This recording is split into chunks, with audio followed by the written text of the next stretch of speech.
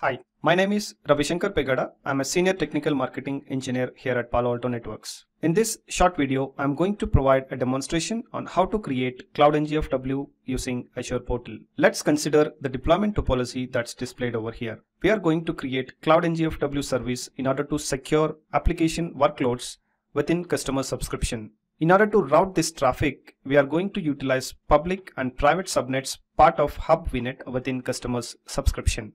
Let's get started with creation of Cloud NGFW service. Creation of Cloud NGFW service on Azure portal is pretty simple.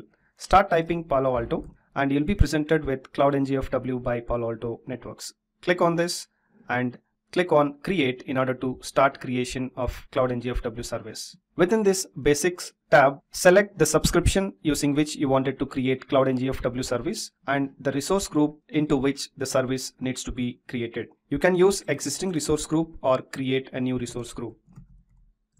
Provide the name for the firewall and select the region into which you wanted to have Cloud NGFW created. Within the networking section, you'll be able to select the type of infrastructure into which you wanted to have Cloud NGFW service integrated into. For this demonstration, let's consider virtual network. This virtual network here represents the hub VNet that we have seen part of the deployment topology. We'll be creating this virtual network along with private and public subnets automatically as part of this workflow. You'll be able to select an existing VNet with private and public subnets as well. Public IP address here will be utilized to provide inbound access for spoke VNets within customer subscription. You'll be able to create a new public IP address or use an existing public IP address if at all there is one already within customer's subscription. Enable SourceNAT in order to secure your outbound internet traffic. Here, you'll be able to use the same public IP address that is used to secure inbound traffic by selecting this use the above public IP address option or you'll be able to create or use a different public IP address in order to perform source NAT on the outbound internet traffic. Let's select use above public IP address. Click on next which will take you to security policies. In this section, you'll be able to decide on how you wanted to manage your security policies that are going to be associated to this Cloud NGFW service. You'll be able to manage security security policies using Azure portal itself or you'll be able to manage using Palo Alto Panorama. Let's select